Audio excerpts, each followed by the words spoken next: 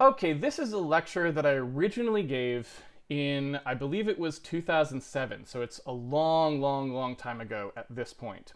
Uh, it was about seven years before I started Handmade Hero, uh, and I guess it's 10 years to today, maybe a little, little over 10 years. So it's, I think it's, I think this talk is actually a decade old. I'm not 100% sure uh, about that, but I believe it is. And the circumstances around which I gave this talk was that I had gone back to Boston, Massachusetts, which is, it's, I didn't grow up in Boston, but I grew up in Massachusetts. I had gone back there and uh, I had gone for reasons I don't totally remember to a local sort of uh, game developer group that they were having there. And I had met uh, a fellow there uh, whose name was uh, Philip Tan. I, I, don't actually know exactly how to pronounce his last name because I don't think I've ever actually heard it pronounced. Uh, but he, uh, it might be Tan, it might be Tan. He uh, ran a group at MIT called Gambit. It was G A M B I T. And it was a group that was specifically sort of partnered with the Singaporean government. And I don't know the circumstances under which they ran this exactly, but it had something to do with the fact that Singapore uh, wanted to encourage game development to occur in their country more so than it was already. And I do think at that time there was also things they were doing to try, like uh, favorable tax status or things like this, to try to encourage game companies to set up shop there. Uh, probably because they perceived other countries to be starting to have good game development industries, and they maybe didn't have that and thought that there was stuff that they could do. I, I remember actually South Korea doing something similar uh, around that, uh, a little earlier actually, but very, very, very, very similar. So there are a couple countries that were doing this sort of thing. Um, those are the two that I'm aware of, but I think it was kind of a common thing around the world as game development started to become a little more popular.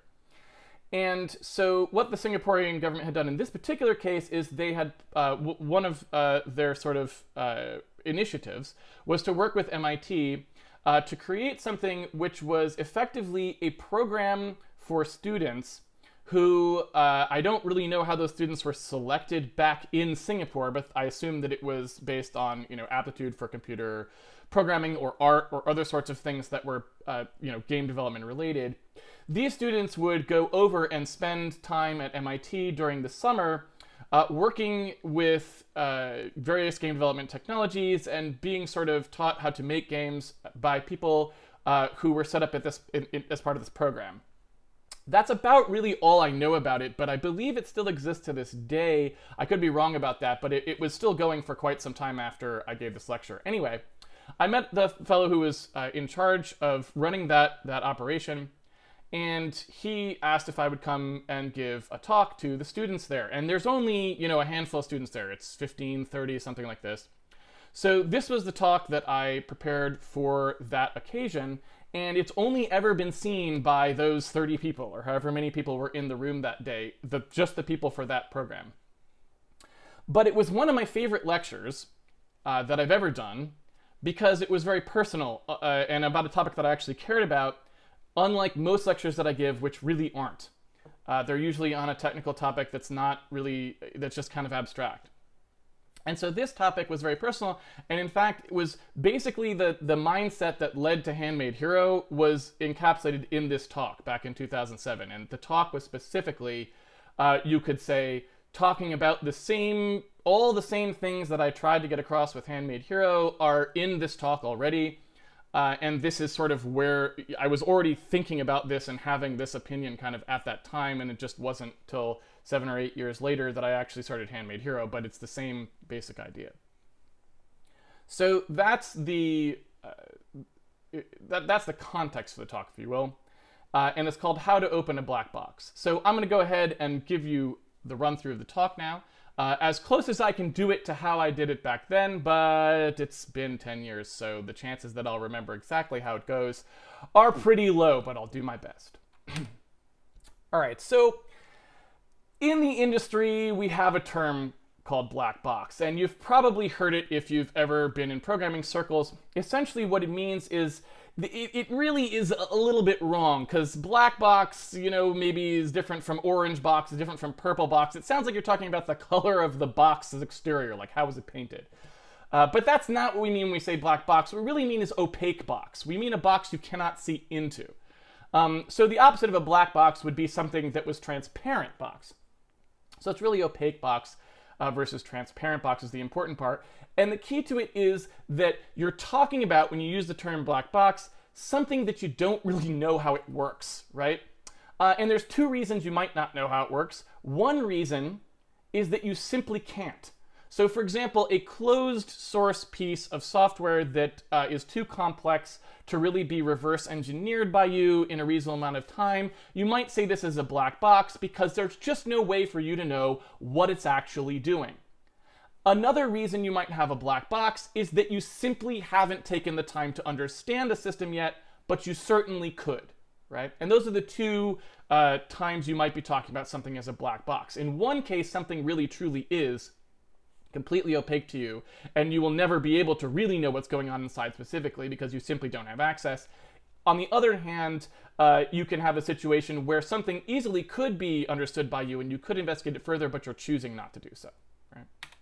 So let's talk about what a black box might be like in the case of a video game today. Uh, so something that I don't think I mentioned at the time because it really wasn't necessarily something uh, that would have been in widespread use, but something like a game engine like Unity or Unreal, you might think of as a black box because you maybe don't really know much about how it works, but you're going to use it. Or maybe you're using some kind of a game development library. So something like a load texture call, uh, you may understand conceptually what a load texture call does, in the engine, you know that it loads a texture off of disk and maybe brings that texture into memory. Uh, and all you really know about this black box is that when you make this load texture call, you are going to get back this texture that you stored on the disk. It's going to come into memory and you can start using it to texture surfaces. The reason we might say this is a black box, again, is because you don't really know how that happened. You don't know how the texture was really stored. You don't know how it might have been compressed or decompressed. You don't know if it was transcoded on the fly. You don't know whether it was loaded on demand or delay loaded or whatever happened. You don't really know much about the implementation. You just know semantically, I said load texture, I got a texture. The same would be true for the play sound call. Maybe you hear sound out the speakers. You don't really know much about how that happened. Maybe there's a physics call like apply force. You don't really know how the physics engine works, but you know that when you apply force, the like bouncing ball starts bouncing around or whatever, right?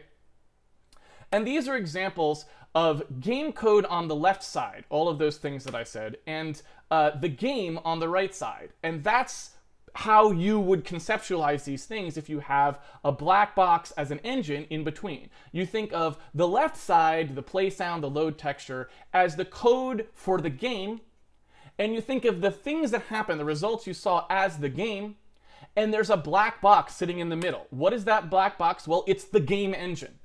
And you have no idea how it works, right? It's completely opaque to you. You just know semantically you do something and something else happens on the other end. Hopefully that makes sense. So that's the second kind of black box in most circumstances. Now, it certainly depends on the particular engine you're talking about. There are closed source engines out there, but say take, for example, the Unreal Engine. My understanding today is that unless there's a particularly unusual circumstance, when you are using the Unreal Engine, you actually have the source code to the engine as well. So if you didn't know how it worked, it's not because you couldn't investigate, it's because you simply haven't investigated. On the other hand, there are circumstances where you don't get access to engine source code, so you may be using an engine in other cases where you literally have no way of knowing how it works. The semantics are all you will ever get. But in either case, it, it, uh, as long as those two things were true, uh, one of those two things were true, you would have one of these opaque boxes you did not understand. Okay? So, what I'd like to talk about today is why it might be important for you to understand what happens inside that black box, uh, and who the types of people are who probably should learn what happens inside that black box, and finally, give a motivating example to show what exactly the results are uh, and why it, uh, it proves to be very useful to have a complete understanding of how game engine code works if you're uh, sort of in this category of people who probably should care, right? Because I don't argue that everyone should care. I only argue that certain people should care, right? So the topic that I want to talk about that motivates these things is normal mapping. And normal mapping is hopefully something that most people are familiar with today uh, in the black box sense, so in the semantic sense. It's something that even an artist, someone who doesn't do programming, probably understands at least semantically now because it's part of the job. So even though a normal map is a very technical topic at some level, it has become so commonplace in game development that even people who don't program must know what it is and must know how to make one, even if they don't necessarily understand mathematically uh, what it is. Now, a normal map, for those of you who may not quite know what one is, uh, it's a very simple concept. The idea is that when you have a three-dimensional object that you have created, uh, it is necessarily built out of pieces that may not encode all of the information necessary to say the, the sort of fairing of the surface, the, the textural aspects of the surface that run along the surface that relate to how bumpy it is uh, or sort of how it reflects light, if you will, right? So there's a lot of information that we need to encode when we talk about modeling a 3D object, and so we end up with a series of maps that sit on that surface and then encode this information. Information like how reflective, how shiny something is. Information like what the reflected color is, so what colors does it absorb, what colors does it reflect. And finally, information like how is this dis displaced or how it uh, has like little fine uh, levels of bumps or uh, sort of uh, defects in the surface that will cause the light to catch in those areas. And that last part is typically encoded these days with a normal map.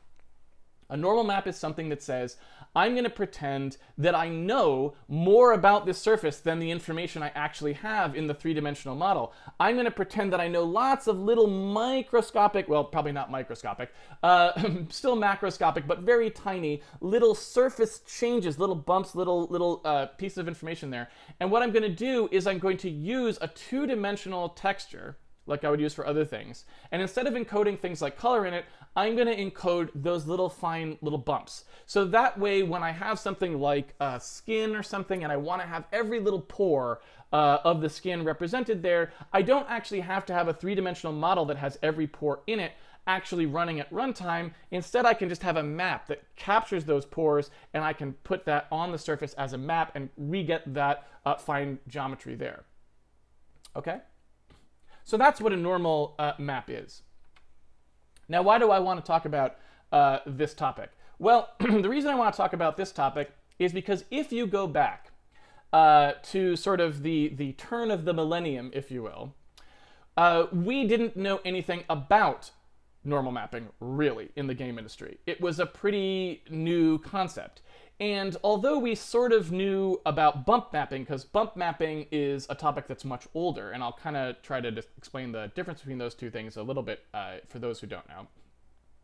But although bump mapping was kind of well understood because uh, I believe it was Jim Blinn who originally introduced it, introduced it, you know, in, I don't know, the early 80s, late 70s, something like this. It, bump mapping had been around a long time. And what bump mapping was, is it was sort of a similar concept to normal mapping, and it was much earlier. And what you encoded in the texture map was just height. It's like a height field. It's like mapping a height field onto your object. And what uh, the renderer would do that you would be using in this case uh, is you would take the information in the bump map, those heights, and at render time, you would do a sort of differential to figure out how the normal should bend based on the height map. Now, this is a reasonably good technique, and it had a lot of nice applications back in the day, but it's got drawbacks. And specifically, since it's based on a difference, there's only so much bend you can encode. Because since you're not encoding directly the way the surface is pointing, like you can with a normal map, because a normal map actually encodes a normal, it encodes the direction the surface is pointing. A bump map can only get you so far. Now, to give you an analogy of why this is true, imagine a height map right? Probably you've played with a height map before if you've ever done anything with game development. A height map just says at every point in the world, how high is it?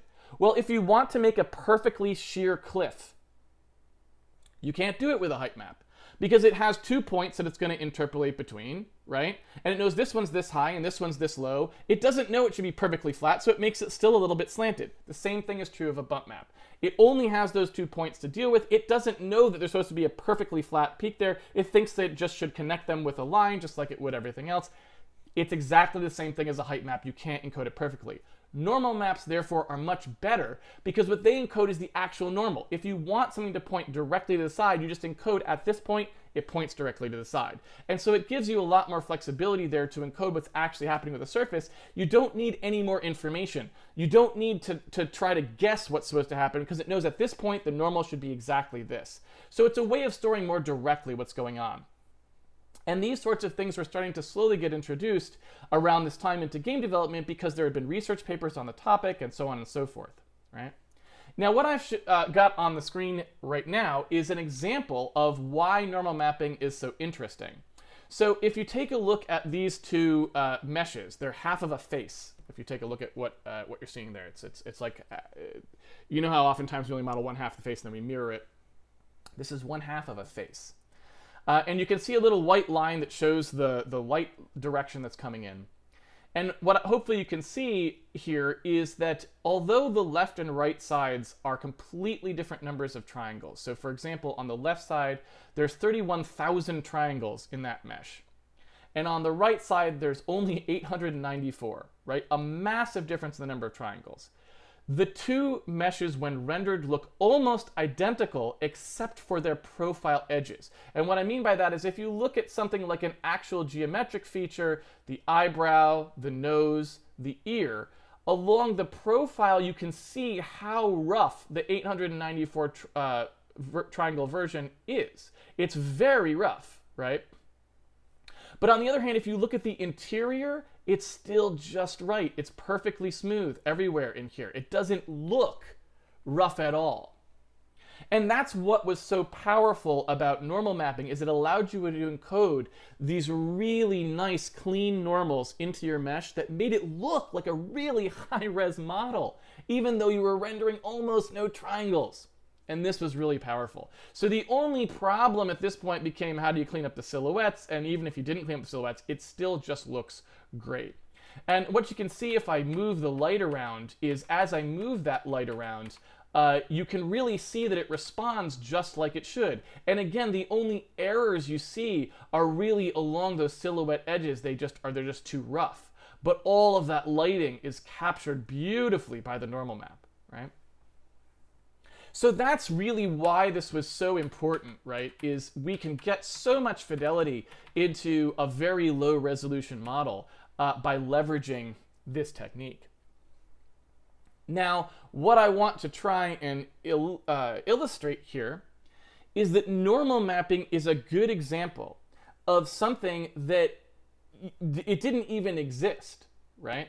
Um, this, I believe, uh, as of 2007, um, which was when the lecture was given, normal mapping was completely ubiquitous, more or less at this point, right? So when I gave this lecture, and also obviously today, which is even later, normal mapping is not something you probably think about at a low level. It's something that you just take for granted, and you treat it semantically just like the black box game engine code that I was talking about back in the beginning of the lecture.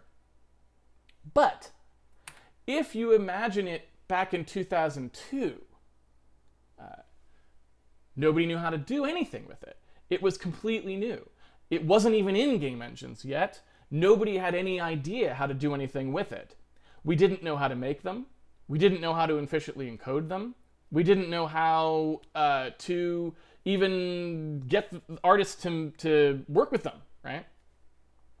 And so what I want to kind of illustrate is that if, by taking something that now we do take for granted as being in the game engine, if we go back in time, right, every single thing we take for granted now at some point in time was a new frontier. And people needed to push on that frontier in order to get it to the point where we could use it as if it was a black box and maybe not care as much, right? All right. So here's what the challenge looked like back at the turn of the millennium. Uh, acquisition of normal maps, where do they come from, right? Projection of normal maps, how do we get them onto the models that we need? Sampling of them, so how do we take the projected version of them and figure out what goes on what, right? There's encoding of them, how do we store them and how do we use them at runtime? There's post-processing, how do they get cleaned up? And this is all at the head end. This is when we're making stuff, right? And then we've got the back end part of the process. How do we decode them at runtime? How do we shade them? Uh, you know, how do we write shaders that use them? So in this lecture, I'm going to be talking about this part. And the reason I'm going to be talking about this part is because it's the basic foundational part. The rest of it is actually very interesting as well. And in fact, one of the things that I worked on uh, that I was particularly proud of in this time is we had uh, in our code, I think arguably the very fastest by several orders of magnitude, normal mapping capture system uh, that people had made. And so that first part was really exciting too. But in order to get to that part, you have to understand the basic parts first. So we're going to focus on that in this lecture maybe I can do another lecture later that talks about the other part of it because that part was pretty exciting as well. Okay, so here we go. Let's start by doing a, a, little bit of mathematical warm-up because one of the things that certainly, and I can, this was not part of the lecture when I originally gave it because I didn't do Handmade Hero at the time. It was seven years before I started it, or eight years, I'm not sure how many. Um, but one of the things that I get asked all the time, all the time. I get emails from tons of people who ask this. I get asked it on stream all the time. It's how important is math for game development? Uh, and my answer is usually got to be a little bit equivocal. Uh, the answer is not at all, or it's crucial and you must know it. And the, the difference depends on what kind of game programming you're doing. Uh, it always, always, always matters um, what kind you're doing if you are dealing with physics or graphics or any of these things, math is fundamental and you must know it. You must know it very, very well and you can't be scared of it. Uh, and so, suffice to say, when we're talking about something that's really graphics specific, and in this case, we're talking about pushing a frontier, uh, math is absolutely crucial and you must know it. So what I'm going to do here is I'm going to run through some mathematics. Maybe those of you out there who are sort of new to game development aren't going to get what I'm talking about, and that is okay. I'm trying to give you a little bit of the flavor of the way that we think about these things and some of the basic math that's required of you uh, when you do get there. So don't let this scare you off, the fact that this math may be a little bit difficult for you to grasp. I'm not expecting you to get it all. I'm expecting you to go, oh, I see. This is why we say mathematics is important for game development. And this is why we say it's involved in what you're doing. So what I've written here is an equation. It's a very, very simple equation to a game developer who's used to working with math, but it may be completely foreign and bizarre to somebody who has only had high school math, hasn't had linear algebra, and so on. What it represents is a spatial transform. It represents taking some point in some space and moving it, or rotating it, scaling it, doing something like this. And we would all recognize this very quickly. P is the standard notation for a point, a point in three-dimensional space, for example, like the kind we would care about in game development. P prime, which is on the left side, our standard notation for something that happened to P afterward, right? So P prime is, is the new point that we're getting, right? It's a point that has moved or transformed or scaled in some way, and P was the input. So think the right-hand side, that just P by itself, that's the input, P prime, that's the output. And this big R, that R represents a matrix. It represents a matrix that will move our point, rotate our point, scale our point. So P prime equals RP is a way of stating something very simple. A new point, p prime, comes from equals a transform r operating on an input point, p. p prime equals rp. Now, here's what it looks like expanded out. On the left, you see p prime. It is a vector because this is three-dimensional. If it was one-dimensional, it would only be one value, x.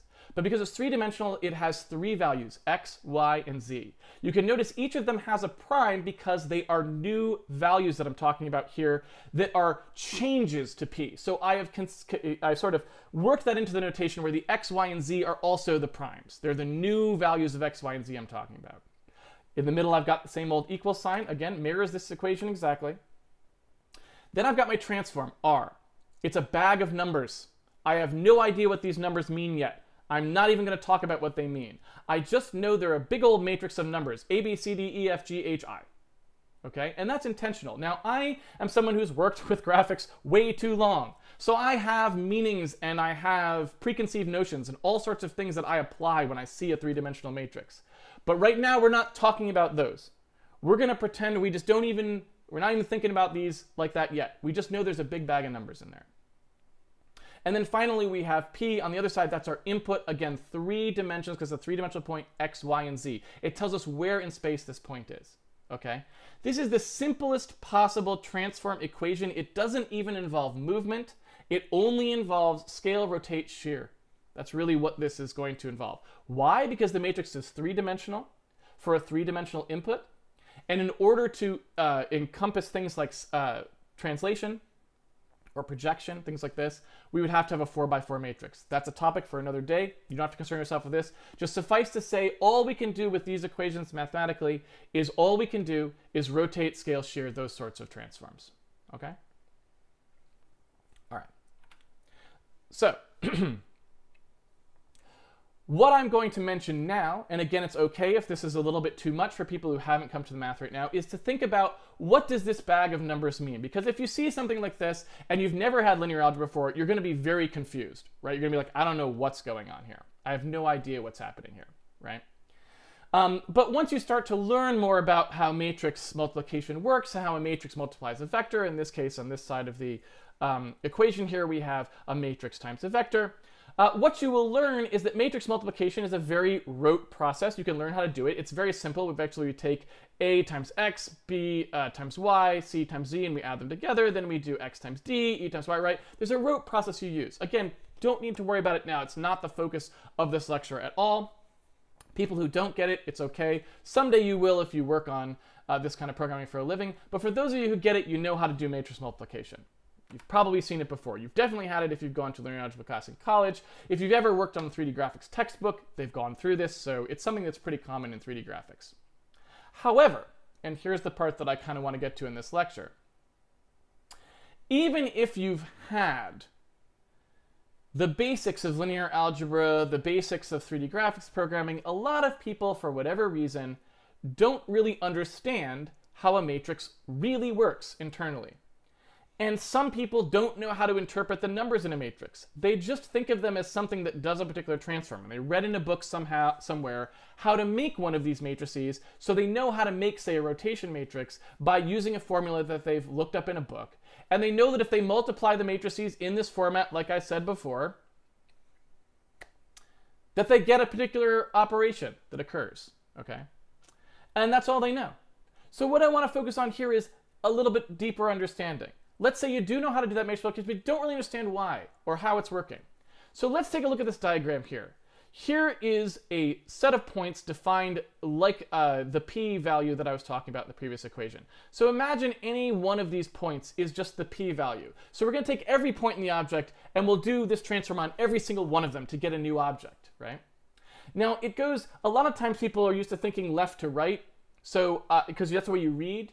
But in math, oftentimes we go right to left more often because we're solving equations. So we want the thing on the left side to be the one variable we've solved for, right? So that's why it looks like this. So we're really reading it right to left, okay?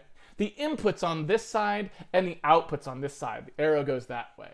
That's just how it works in mathematics when you solve typically by convention. So the new point we're getting here is a rotated object, as you can see here, right? And the input is this object. Now each of the axes I've highlighted here. I've highlighted the x-axis in red, the green is the y-axis, and the z is the blue axis. And what you can see over here is we take this input, and it's around the world axis system. It's just the basic axis system. They're aligned. When I apply this transform, now I have transformed the object. You can see that it has rotated itself away from those world axes, okay? And what I've written here is I've written r sub w. This is just uh, it's free for me in mathematics to put a little subscript on something and say, I'm just going to denote this rotation matrix with R uh, as a world rotation matrix, W, And I'm using that notation to say this is something that places an object into the world, okay? So it takes an object that's at rest and it puts it at some orientation in the world. You can see that happening by the diagrams. P prime is the new object that's been placed in the world.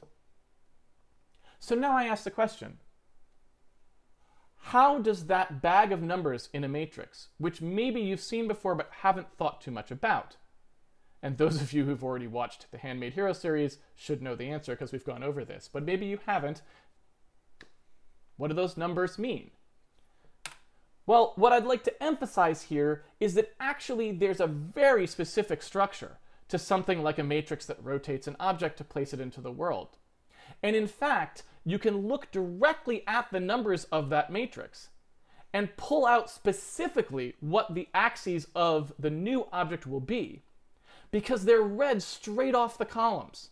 The columns of a matrix are actually the new axes of the object after it's been rotated. Believe it or not, some people go through their whole programming career not even knowing that. They just learned that this is how you make a rotation matrix out of some book. They never really thought too much about it. And in fact, this was an interview que question. I don't mean to spoiler it. Uh, I won't even say where the interview question, uh, who actually gave it, but let's just say a Valve interview question actually involved asking the candidate these questions. And you would be surprised at how many people can't give a very good answer because it's common to learn to use something without really knowing how it works, even in graphics programming. Okay. Why? Why does that happen, right? I've basically just told you that if I look at a 3D rotation matrix, the three axes, right, of the x, y, and z world coordinates, I've just said that's what happened. Like, I just said that. But why does it happen that way?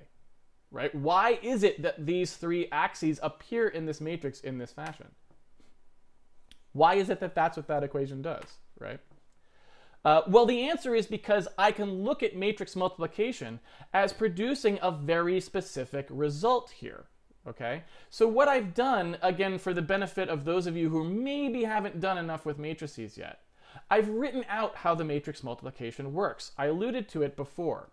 I take A, B, and C of the matrix here, and I multiply it by X, Y, and Z of the input point, and I add them together. You can see it right here ax plus by plus cz. That's how I get my first row of my resulting point. Next row, same thing, but I move down one. I use the next row of the matrix, but the same input point.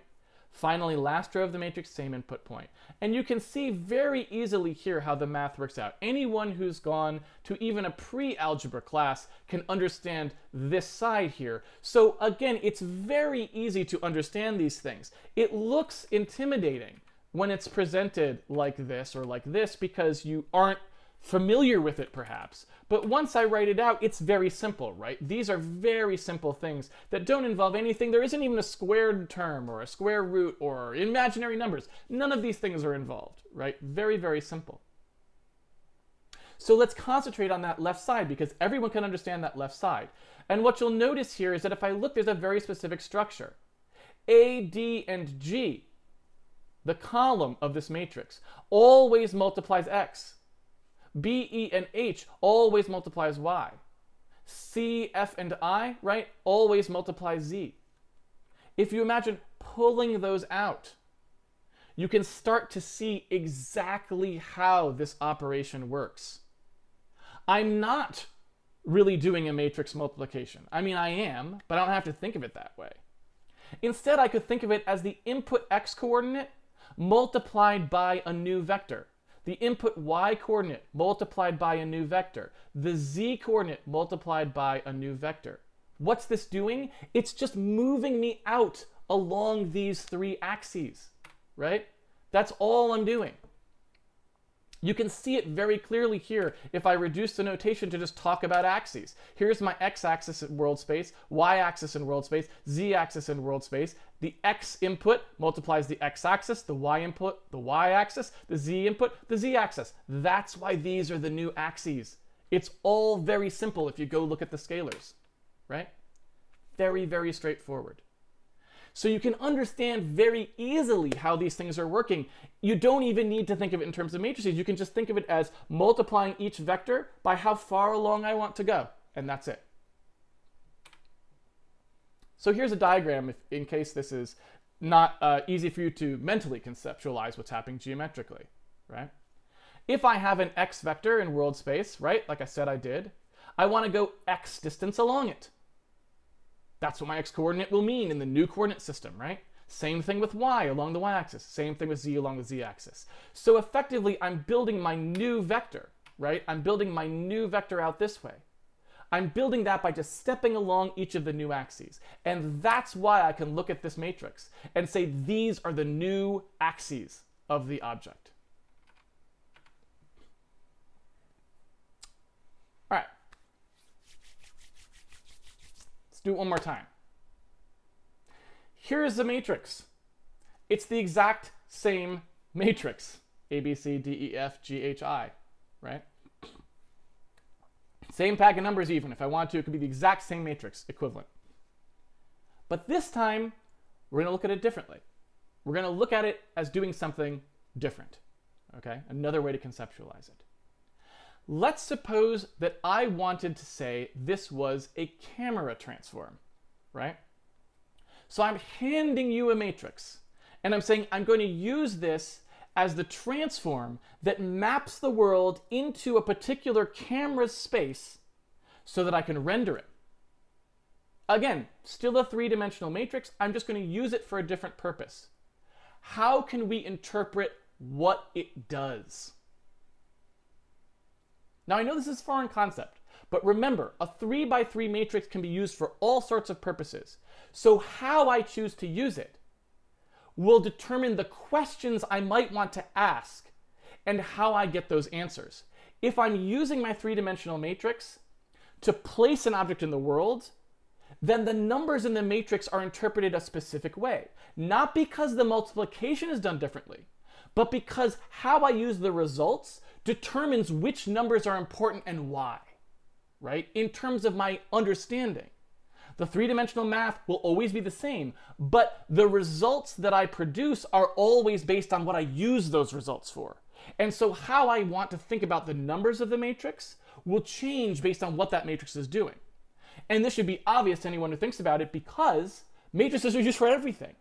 So obviously, I can't always think about a bag of numbers the same way because that bag of numbers is going to be used in many, many different contexts. So I must learn to think about the numbers in that matrix based on its use.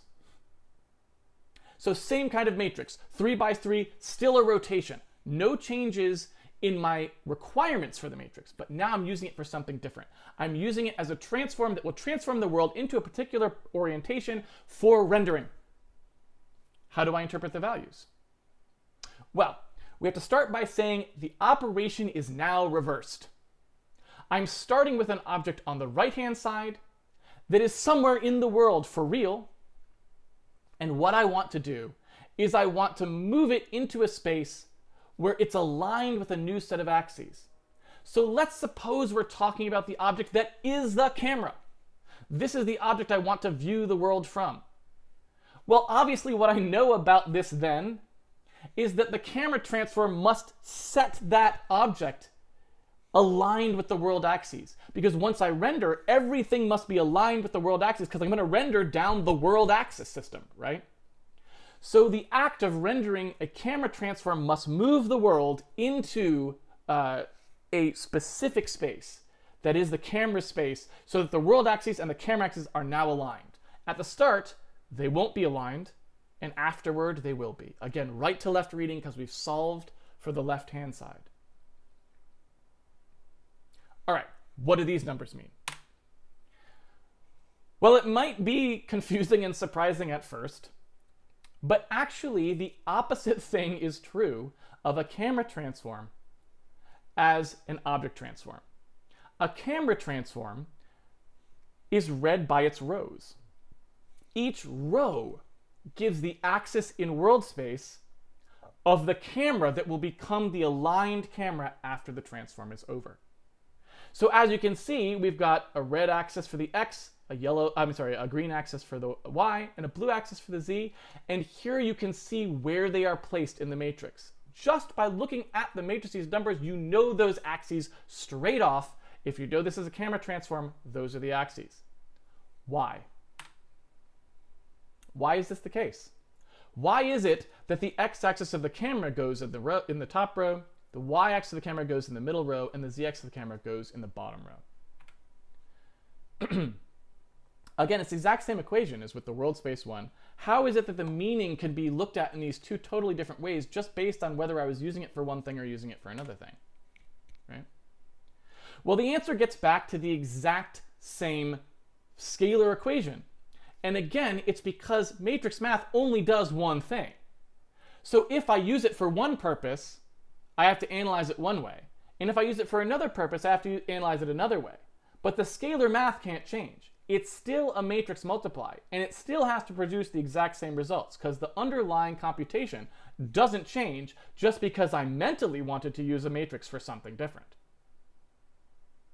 So let's take a look at these scalars over here. How can I get an axis out of A, B, C, D, E, F, and G, H, I, and why would they mean the camera transform? I don't understand.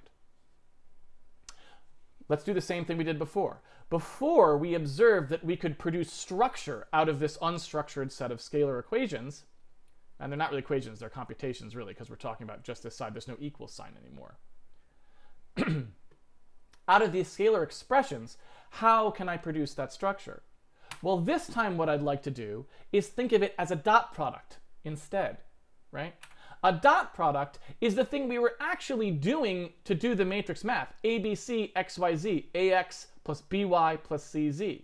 The dot product is exactly that operation. Now, if you've never heard of a dot product before, I'm sorry to throw the term at you, but again, the math incredibly simple. If I have one vector xyz and another vector abc, I'm literally just talking about multiplying the x's, y's, and z's of each and adding them together. That's it. Again, so simple, it's pre-algebra. You don't even have to solve an equation, nothing involved. It's just multiplication and addition, that's it. That's a dot product. Well, if you take a look here, you can see that those dot products are in each row. Every row is a dot product. So let's take a look. if we were to isolate our dot products, what do we get? These are the three dot products we get abc.xyz, def.xyz, and ghi.xyz, right? Those are the dot products I get, which means effectively what I have done is I've taken each row of the camera transform and dotted it with the input point. That produces exactly the operation we want for a camera. The input point measured along the x uh, axis of the, the x row, first row of the matrix, the input point measured along the y row, the input point measured along the z row. Now, for those of you unfamiliar with the dot product, you may be like, well, okay, I don't understand what you mean by that. What do you even mean by measured by? Or why do I care that I'm taking three dot products? I believe you because I can see that these are three of the things that you said. It's three of these things, right? But why does that produce a camera transform? Well, in order to answer that question, we have to get a little bit deeper into the mathematics. But let's go ahead and do that. I just said a dot product is this equation, right? If I have two vectors, the x, the y, and the z get multiplied and added together. And we notate it this way, A transpose B. Now, why do we notate it tra A transpose B? What does that mean? Well, transpose in linear algebra means to flip something around its diagonal okay? And you can actually see that here. This and this are both three-dimensional vectors, but one has been flipped. It's been laid on its side, right? So you can think of this as A transpose B because this is how we normally write a vector vertically, x, y, z, right? And I don't want to get too bogged down in linear algebra, there are actually reasons why we write a three-dimensional point um, or a three-dimensional vector uh, lined up like that. And there's some minutia there if you wanted to get into it. It's not relevant to our current uh, conversation, but let's just say there's a reason, uh, if you go deeper into the math, why some are vertical and some are horizontal. But If we were to take vectors that we all would be considering vertical, and we lay one down on its side, that's a transpose operation. We're taking it and the rows become columns and the columns become rows. Since there's only one column, it becomes a row when we transpose it. So we say A transpose B for a dot product. We say that because we're lying this one down on its side and this one is still vertical. So you can see this operation drawn out for you here. It's very simple. Hopefully it makes good sense. When I take a vector A and I transpose it, I'm laying it down its side. Columns become rows, rows become columns. And you can do this with a matrix too. Anything that is a two-dimensional grid of numbers like this, you can do it too, right? And by the way, there's multi-dimensional versions of this, but again, we don't care about that for our purposes. We're totally fine with just these. So here we see A transpose B written out. You can see that A gets transposed, the B does not. They multiply together just in that very straightforward way that all of matrix multiplication was working, as even if you didn't know it, you've seen me do it a couple times already right now. And we produce, as a result, the dot product, the result that is the dot product. And it's one scalar, it's a single value. Each of these multiply together and give us a single value, like five, right? These were uh, more compound values. They had three values in them, five, seven, nine, three, two, one, whatever. But this result here, it's one value. So it, the dot product, by its nature, is contractual, right? It brings things together and reduces their dimension. Okay? So, how does this produce a camera transform? It was very easy to see in that walking out along the axis form how multiplying vectors by scalars produced the world space transform. Hopefully that made sense to everybody. But the dot product is a little harder to grok. Why would that produce a camera transform? Why does that produce the basis? Well, the reason is because the dot product actually produces a very special version of the law of cosines. And I will walk you through what that is because it's a little hard to understand. Here is a dot b at the top. Hopefully everyone understands that this is what we mean by that. And again, that's just the notation we use. We write it like that to represent this scalar multiplication and addition, okay? We write it like this if we're gonna be a little fancier, because uh, that's the more matrix-like notation. This is the more informal notation. But what both of these actually compute, and I'll show you how they do it, what both of these actually compute is the length of the input vector A the length of the input vector b multiplied together times the cosine of the angle between the two vectors. Believe it or not, that's what they produce. So this single scalar value produced by this scalar equation actually has all of this meaning. Length of A times length of B times cosine theta, all of that meaning is wrapped up right in that one operation. How? How is it possible? what? Right? Well, it turns out that you can actually see this pretty easily. Uh, if you actually just look at how the equation uh, breaks down, right? It's actually not that difficult to see uh, how it works, right? Uh, and so what we can do here is we can see uh, that if we were to take the law of cosines, which is this equation up here. And again, I apologize for not proving the law of cosines to you, uh, but unfortunately that would be a whole different ball game, right? Uh, proving the law of cosines or where that comes from, we start to get deeper and deeper down the rabbit hole of math. But anyone who's had high school geometry, or trigonometry, sorry, uh, will have seen the law of cosines already. I've written it for you at the top. It's a minus b so we take two vectors, we subtract them. We take the length of a minus b squared, and we know that the law of cosine says that that equals, right, the length of a squared plus the length of b squared minus 2 times the length of a, length of b times the cosine of theta. That's the law of cosines, right? A fundamental prob property of trigonometry. Well, if we just work these two equations out, so I'm going to move this stuff over to the other side. I'm going to divide by the 2, right? Or the negative 2 in this case. Look at what I get. I get length of A plus length of B minus the squared length of A minus B over 2. And if I simplify this equation, I get the dot product on the left side. What's on the right? the exact thing I said the dot product produced. So just using the law of cosines from your high school trigonometry class, you can see exactly what the law of uh, cosine says your dot product will give you. All right, so hopefully you believe me there, and I apologize for not proving the law of cosines to you, but at some point you gotta stop. Math has axioms, and eventually you're gonna hit a wall somewhere. I chose to stop it there. I would encourage anyone who really wants to drill all the way down, go look up the law of cosines. It's great extra reading uh, to accompany this lecture. All right, so why does this help us with our camera transform?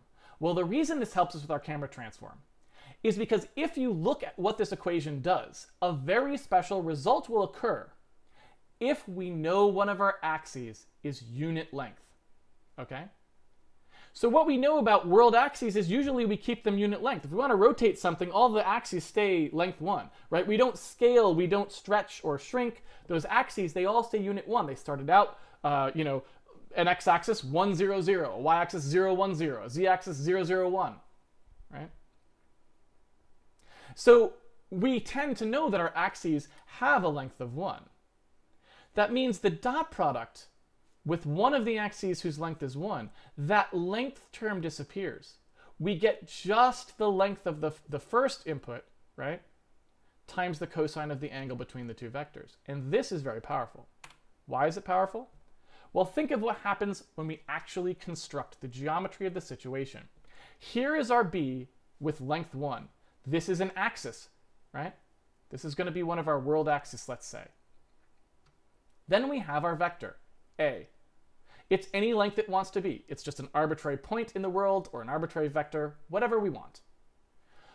Well, this forms a right triangle. Here is a right triangle right here we can choose to drop the perpendicular down from this particular point that we've stretched out to along the vector A. We can drop that perpendicular down.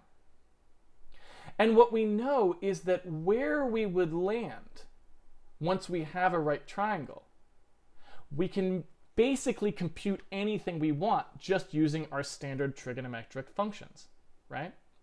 because we know the ratio of this leg of a triangle to the hypotenuse is cosine theta. We know that the ratio of this leg of a triangle to the hypotenuse is sine theta.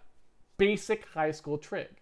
So if we take the length of the hypotenuse, which is the uh, vector we're inputting, length of A, and multiply it by cosine theta, we would get how far along this axis we would be.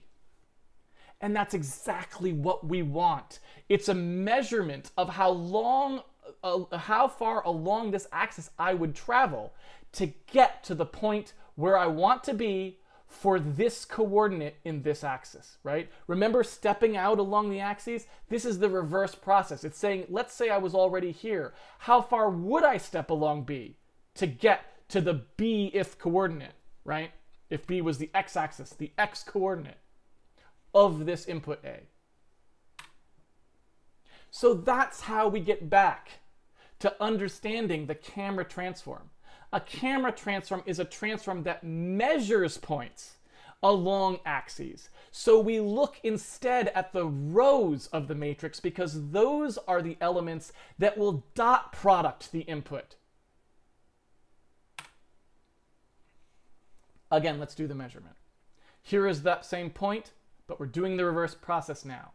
We have three axes we want to measure, right? The z prime, the x prime, the y prime. We want to measure along our camera axes. Where is this point? What would its coordinates be in this axis system? Right?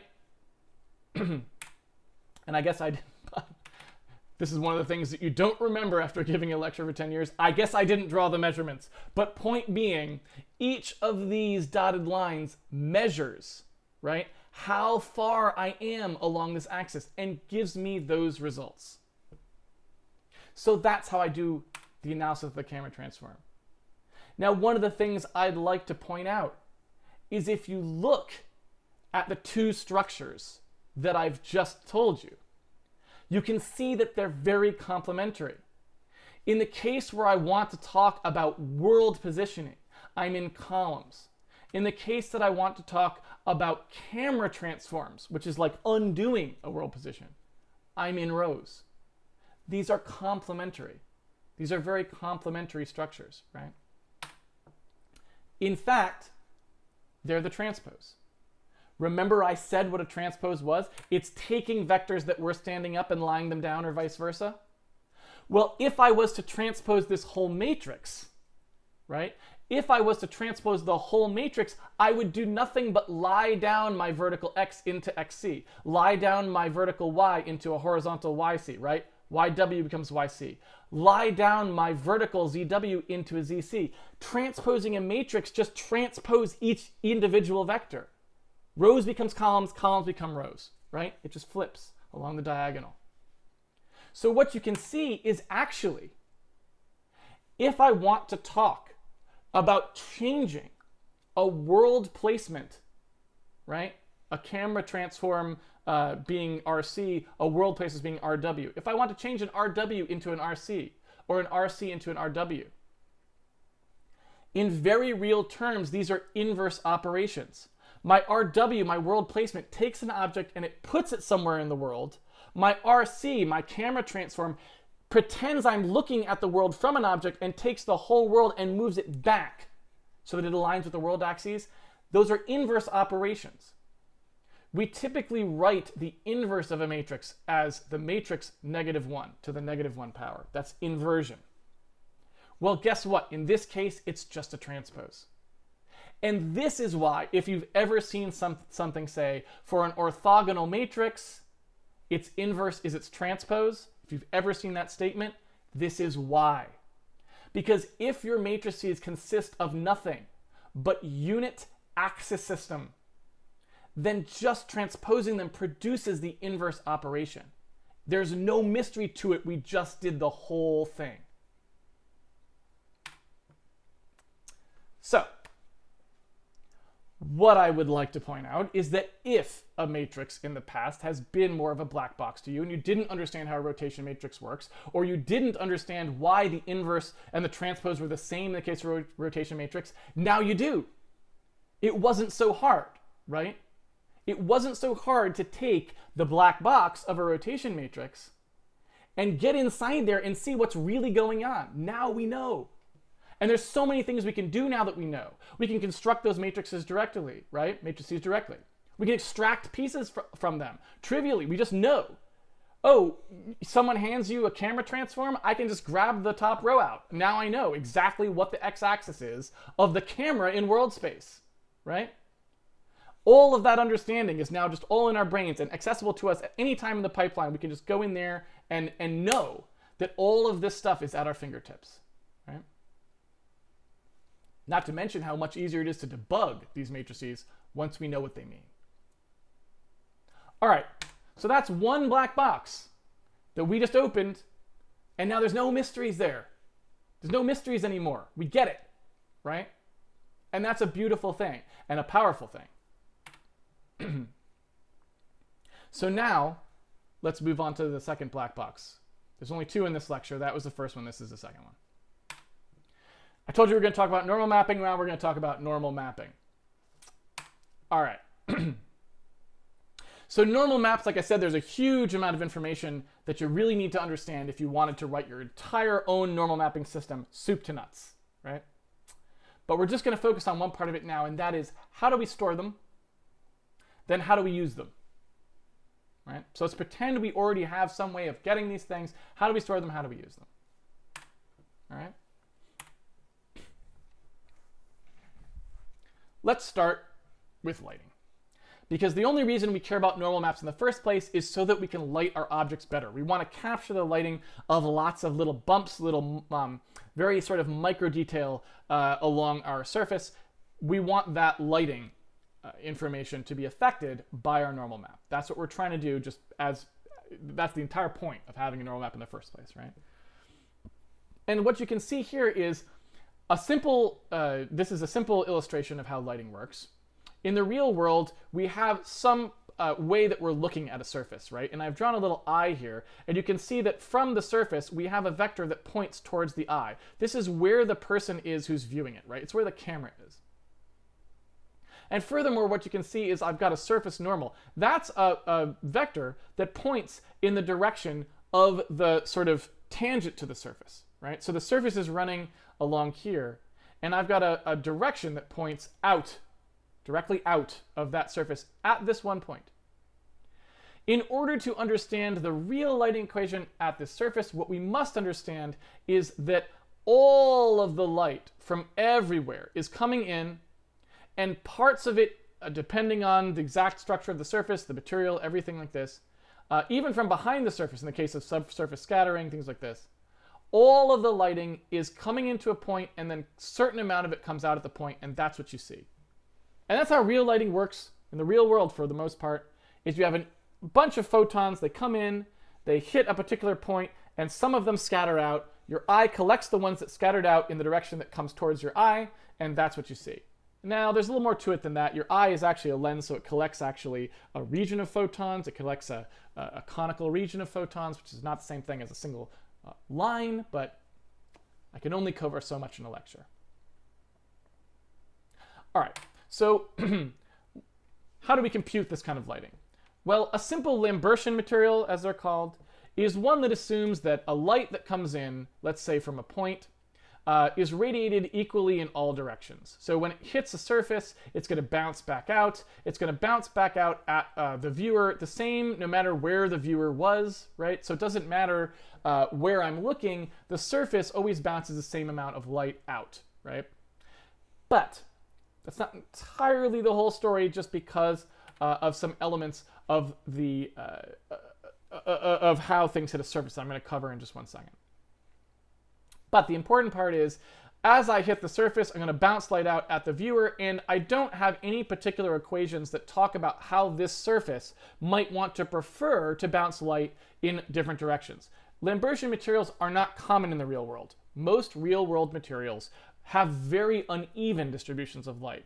They will bounce light much more favorably in one direction than another. But again, that's a topic for a different lecture. We're not talking about lighting very much here, except as it applies uh, to normal mapping to kind of give you a little uh, bit of the flavor. So I'm not going to go too much into that, right? Uh, but the point is, if I were to look at the uh, material from up here or look at the material from over here, I'm not going to expect the material's properties itself to bias towards shining more brightly one uh, place than another, okay? That's about it. Uh, now, if the light moves, the same thing is true, right? So no matter where I put the light, I'm still shining out in the same uh, direction as well. However, all of that comes with one very specific caveat. And that caveat is that the light, when it bounces off a surface, more of the light is able to reflect out uh, in terms of how it hits the surface based on the angle. This is just a uh, sort of a, how should I put this? This is a aspect simply of the differential geometry of the situation. So according to Lambert's cosine law, which is from 1760, so not exactly a recent development in the field of computer graphics, as you might imagine, it simply says that if I imagine a patch of the surface, no matter how big I choose to make it, it can be infinitesimally small or just an arbitrary size, what you can see is the shaft of light that would fall on that surface, right, from a light source. If the light source was the same size over here, right, or over here, I'm going to get a different size of the shaft of light depending on the angle. As it rotates down, that same thing that I showed you back for when we were talking about how to measure the edge of a triangle, that same thing is true right? The right triangle that I form right here is going to say that this right here, by the law of cosines, is only going to be proportional to the cosine of theta as wide as it would be if it was straight on. Okay? And you can see I've kind of like uh, created that, that version of the diagram here. And you can do it a couple different ways, right? I put the triangle here. You could put it uh, off to the side, however you want to put it, right? So anyway, we get back to the exact same thing that I showed before, right? This thing that we learned sort of as we went in and examined the dot product. This is actually already a piece of information you would encounter when you just start doing your lighting, right? So again, one of the things that I would emphasize is that understanding one black box typically applies to another black box because all of this stuff is interrelated and you see the same things coming up over and over and over again, right? Okay. So if we take a look at what's happening in this equation, we get the exact same thing that we got before.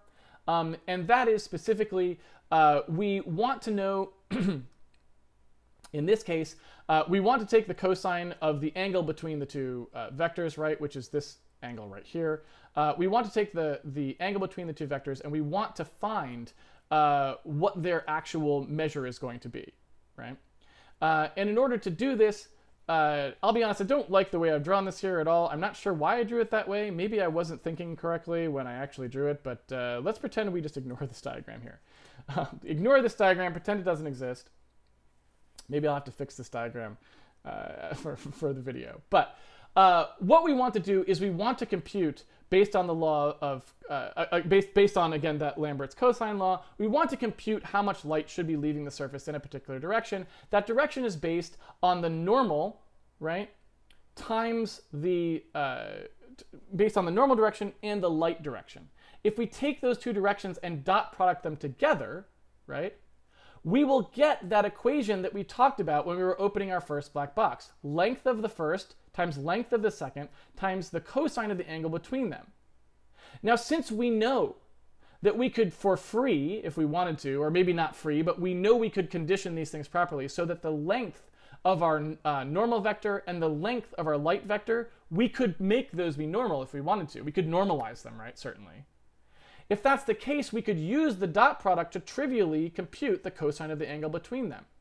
That's exactly what we need to compute Lambert's cosine law, which is a fundamental law of all light reflection, and we're going to need it to produce our lighting equation, right? So, if we take a look at going back to the 1990s, right? Now we're going way back in history here. We're going back almost 30 years, right? If we go back to how hardware shading worked in the late 1990s, it looked like this, right? Uh, there was a vertex pipeline uh, and that vertex pipeline could be parallelized. So we maybe had multiple vertex pipelines, it's hard to say, uh, depending on the circumstance. But basically what you did is you issued a bunch of uh, data to the vertex pipeline, and the vertex pipeline would transform your vertices for you, right? Some hardware could do this, some couldn't. Sometimes it's still done on the CPU.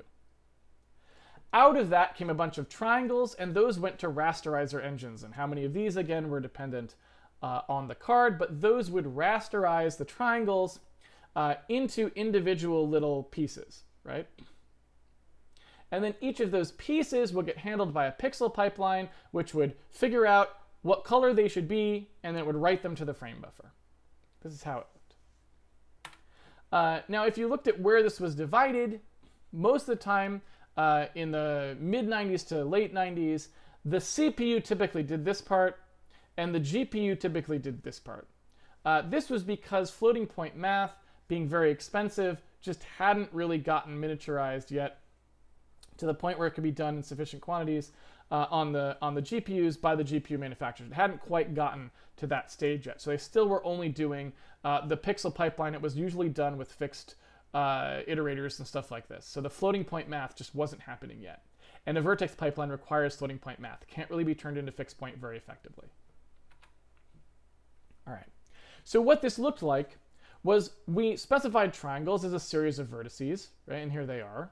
Here's an example. Uh, those would get passed to a rasterizer, which produces a set of fragment values, right? Which is places where uh, on the pixel grid we need to process. And the pixel pipeline would go ahead and figure out what to do with them, right? So in here, we've got a smaller number of things, right? 0, 1, and 2. And that changes into a larger number of fragments, 0, 1, 2, 3, 4, 5, whatever, right? Okay.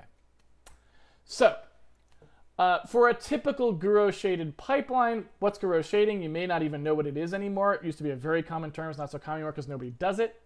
Gouraud shading was one where basically, if you take a look at this, there was just a color at each of these points, right? So when you specify these vertices, you could specify a color. And then when you would interpolate the points, it would just figure out what the color of each of these was by figuring out where it was sort of barycentrically in this triangle. And it would you know, sort of do like an average, weighted average of how close it was to each of these points, right? Very simple interpolation of to figure out what the color was, okay? Uh, so for a Gaussian pipeline, again, we've got this information here uh, telling us how to get to a particular point, like I showed you with the initial transform, right? Um, we've sort of got this idea uh, that if we had, for example, uh, coordinates of our triangle and we were using those coordinates to produce some kind of a world space movement, right? Uh, the same thing might be true of the colors inside a triangle. So we might have coefficients that are barycentric coefficients, meaning they're relative to the triangle. We might have the same exact thing. Again, this structure where I move along each one, the rasterizer might be doing this to compute the colors that it would then send to the pixel pipeline, okay? So what you can sort of see here is that, amusingly enough, uh, you actually would end up getting into a situation where you'd use the exact same things you saw when we first opened uh, our black box, just our very simple black box of how matrix transform for rotation works.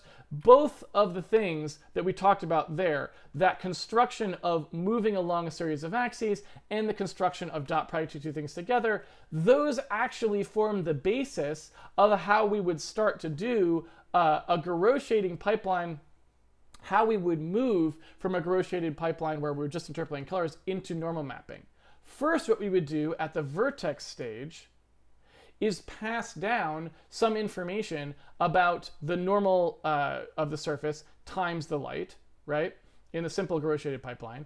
Then the rasterizer uses the standard movement along the barycentric axes to produce interpolated colors, and then we output a pixel. This is a non-normal mapped pipeline right? So if you imagine I want to produce these colors over here that are the lighting values of my surface, all I have is inputs here. What I would do in a very simple sense is just have normals at my vertices. I would do the dot product for each of those normals. The interpolation would take place in the rasterizer, and the output, the pixel output, would just be the interpolated color. And that's it, right? So that's a very simple, uh, it doesn't really do any normal mapping, right? Uh, but it does go ahead and produce uh, a, a, um, a, lit surface that just only lights uh, as simple interpolations between the vertices. So the more dense your mesh, the more this would capture the lighting of the surface, but the sparser the mesh, uh, the less information there would be because the less times you would be doing those dot products between the normal and the lighting, right? Now there's an obvious problem with the Gouraud shading pipeline, uh, and what you would see immediately if you start to look into this further is that if all we were doing, right, is interpolating the multiplication between these two, uh, then you get some pretty nasty results here, right? Uh, if all we do is interpolate the, the result of n times L, then if in the middle, right, if in this case, for example, uh, we have a situation where the light starts on this side and ends on this side. So we have L1 is out here and L0 is out here. So maybe we're taking two vertices of our triangle and one side of it has uh, one type, you know, the light relative to one vertex is pointing this direction, but then this vertex is on the other side of the light source, so it's over here. The interpolation between them is going to pass through a place where it should have pointed directly at the light. We're never going to capture that because the dot product of this and the dot product of this are basically going to be the same potentially. Um, and it's not going to be able to capture that difference, right? Um, so we get into another problem here. Excuse me. Uh, uh, but we're going to talk about that uh, a, a, little bit later, right? Um, I don't, again, not sure exactly why I chose to draw this, draw this here, uh, because it's not exactly what we mean. Um, but, uh, you know, 10 years, 10 years you'll forget some things about Electro, let's put it that way. Uh, so let's ignore that for now, and I'll come back to it in a second.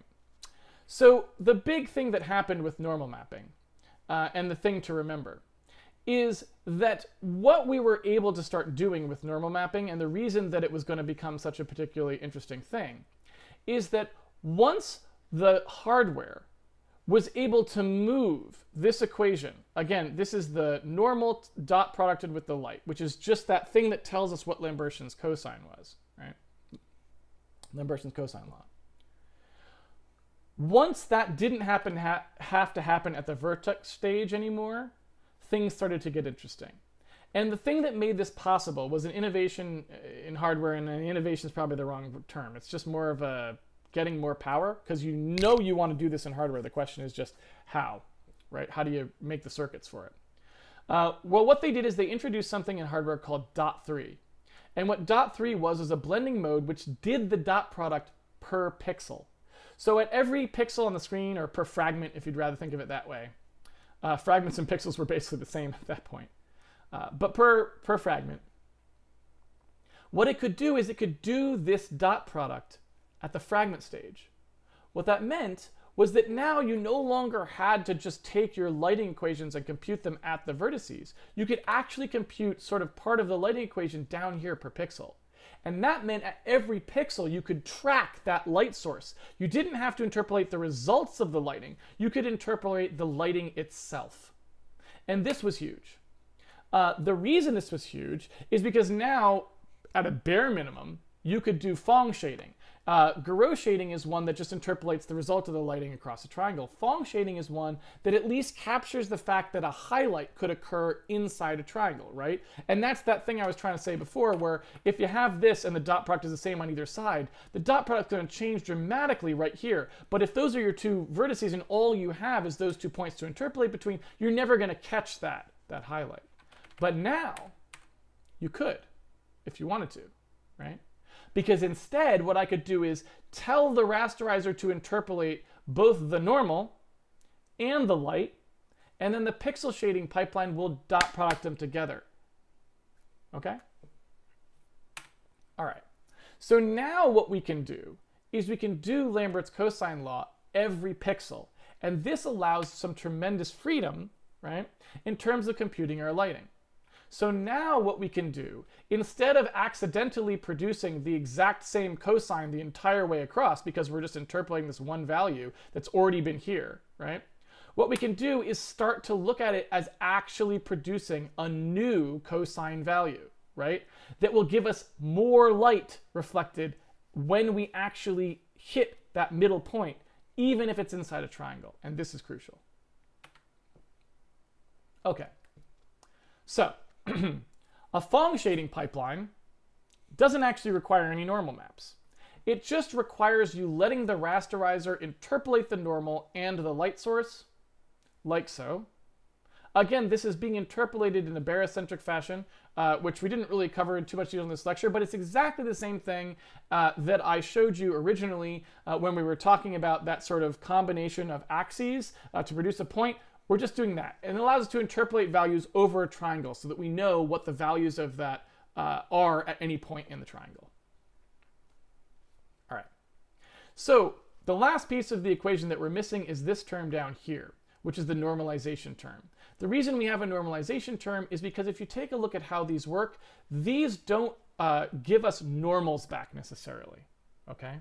Uh, and that's a, a, problem because we know that we said we wanted the, the light source and the normal to be unit length vectors so that our cosine, uh, so that we could use the dot product to compute the cosine of the angle between them. If they're not unit length, then that equation breaks down because remember it's length of A, length of B, cosine theta. If we need length of A and length of B to be one so that we just get cosine theta out, well, we don't really have the option of doing that anymore? So the problem is we need an extra term in here. We need a term that corrects our dot product to produce uh, a more normalized result. And so what we can do here um, in the case of, of a pixel shader is what we can do is we can actually normalize the light source right in the pixel shader if we want to, right? And that, that solves that problem for us. But what do we do about the normal to the surface? Well, we could normalize that as well. So if we wanted to do a Phong shading pipeline, we could choose to normalize both of them, right? We could normalize the normal and normalize the light source, and that would be fine. But if we want to move to a normal map pipeline, well, we don't have to worry about that anymore. Why? Because the normal is going to come from a texture anyway, right? So this is where we finally get the normal mapping pipeline that we sort of stumbled upon once dot 3 texture mapping was available. And that is that if we interpolate the light direction across a triangle, then we can also just read the normal from a texture. because since we can read things from textures, we might as well read the normal out. That would allow us to vary the normal across the surface as if it had a lot more detail than the mesh would imply. So that's what this looks like. We have a vertex. At the vertex, we specify where the light is. That gets interpolated across our triangles, which are built up of vertices. We normalize it at every pixel because, you know, it's going to become non-normal as it interpolates. But then we just read the texture uh, to find out what our normal is. All right. Uh, so that's really all we need to know in terms of how shading works. So hopefully that gives you a little bit of background about how a normal map actually gets applied at the shading stage. We take the normals out of textures, we specify the lights at vertices, and then we dot product those two things together, uh, the light getting interpolated across the pixels, to produce Lambert's cosine law. Now, obviously, if you wanted to do better lighting, you could use that information to produce more than just Lambert's cosine law. You could look up into tables, you could use cube maps, you could do all sorts of things to produce fancier lighting uh, that has more real surface properties. But again, that part doesn't really matter. I'm just showing the simplest possible normal mapping pipeline, but the lighting equation can be extended in, in all sorts of ways. So how do we encode normal maps, right? How are we going to encode these normal maps? Uh, well, as you might imagine, the simplest way to think about this is just to think about in the world, right? Uh, there is a triangle that I'm trying to encode, and it presumably has a lot more information along its surface than I'm actually going to encode at the vertices. If I was to only record normals at each of these vertices, then inside here, any perturbation of the surface is no longer recorded, it's just flat. So the goal of the normal map is to say, let's take a texture map and let's place this triangle somewhere in the texture map, however we want to map it. Again, that's a topic for a whole nother black box. But Let's place it somewhere. And then inside there, let's use all of the texels, all of the information in this texture to encode what the normal is.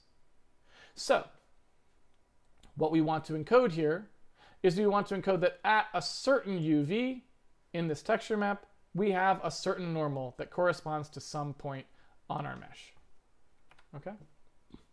So again, looking back here at what we've got, we're just interpolating the normal um, in a way that's going to read it from a texture, and they're going to be here's the texel zero, texture one, and so uh, so forth. It's going to read from those points uh, in the texture map and interpolate between those. So what we will pass down is just UV coordinates that say where in the texture to look. Those will get interpolated here and pulled out as a texel, which represents our normal.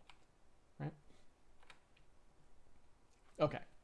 So now let's put this all together. Imagine we have a surface. Here's like one, I'm gonna look at just a slice of it. Here's one vertex, and here is the direction of the light source, you know, if we imagine the vertex is here. Here's the direction of the light source if we imagine the vertex is here, right? And of course, we're gonna shade this whole surface. So along here, the light is just gonna point up towards the light the whole way, right? As we interpolate between these two vectors. Um, what you can see here, if you imagine what's going on here, uh, is that the input to our vertex, again, is very simple. It's just the light in world space minus wherever the point is, right? So you can see here, P0 is at this location. If I want to know what the lighting vector is I should pass, well, it's very simple. It's just wherever the light is minus wherever the point is. So our input to the vertex stage is very straightforward. The rasterizer stage, we know we're passing a texture here. That's very straightforward. We know it's going to interpolate the lights we pass here, so we don't have to do anything else. And the pixel stage is rote. It's just that dot product, right? And then we have to normalize the light. So it's very simple to pass the light direction in. Okay? Uh, and you can see here, if I were to rotate the surface, okay, it's pretty straightforward what happens to all of my values. If I was to change the orientation of my surface, I could multiply each point by a rotation matrix, just like we showed at the beginning. I could multiply the normal by that rotation, and I would rotate everything uh, in the surface. Okay? So producing new lighting points is very straightforward.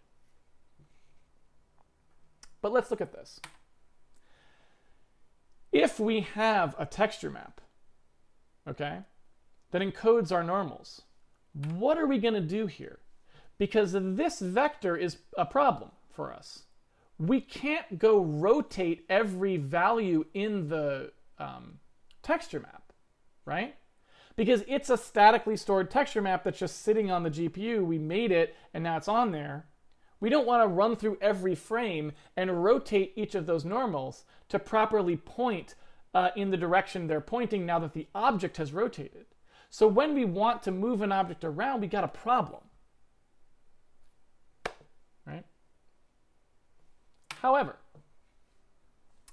we can solve this problem really easily. If we know we can't change the texture, what if we just change the light to pretend that the light is the thing that moved and not the texture, right? Because remember, as Einstein would tell us, I don't know if he would really tell us this, but everything's relative. Instead of rotating my object, couldn't I just rotate the light in the opposite way? For example, if I was to look at this diagram and say, well, I'm not going to rotate this object like this, instead I'm just going to rotate the light over here, right? And leave this the same. I could do that, couldn't I? Right? I could do that. So, if we look at what happens, instead of trying to bend the normal or something like this uh, to accommodate the direction the light should be going, instead what I can do is I can just imagine that if my normal has to still point in the same direction it used to point, well, let's just move the whole world so that the light is just where it should be. And that's exactly what I can do. If we take our equation over here, right, and we say, I want to do the inverse operation on the light location, where the light would be if I had rotated my point by this matrix, right? So I'm applying this rotation. If we just work the math out, we get R inverse times the light minus just the original input point, and that's because R inverse in itself will cancel, right? The inverse transform times the transform is just going to be nothing. And I've already determined, because thanks to opening that black box at the beginning, we know the inverse of just a rotation matrix is its transpose. We know that if I just transpose this matrix times the light, I will get the operation I'm talking about, right? So if I just perform this operation first and then subtract the uh, point away, I will get the equation in that original space, right? In that sort of transformed space, even though I'm no longer multiplying pH times that. So now I just have a way of producing this information. My LH becomes my newly oriented light source, and I just subtract my pH from that.